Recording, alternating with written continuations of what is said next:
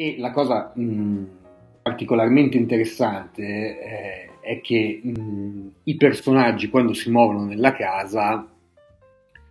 eh, cioè il film è pieno di raccordi sul movimento, no? È come se uscendo da una stanza entrassero da, in un'altra stanza, escono da una camera, dallo sguardo di una camera, entrano in un'altra camera, no? Sotto lo sguardo di un'altra camera. E la cosa che fa Glazer al montaggio è una,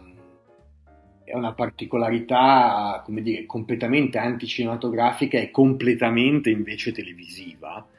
eh, comple- televisiva nel senso proprio del reality show, nel senso che eh, qualsiasi montatore sa che per fare un raccordo di movimento, quando un personaggio esce dal campo e entra in un altro campo, tu devi togliere dei frammenti, devi togliere dei frame per dare la naturalezza del movimento.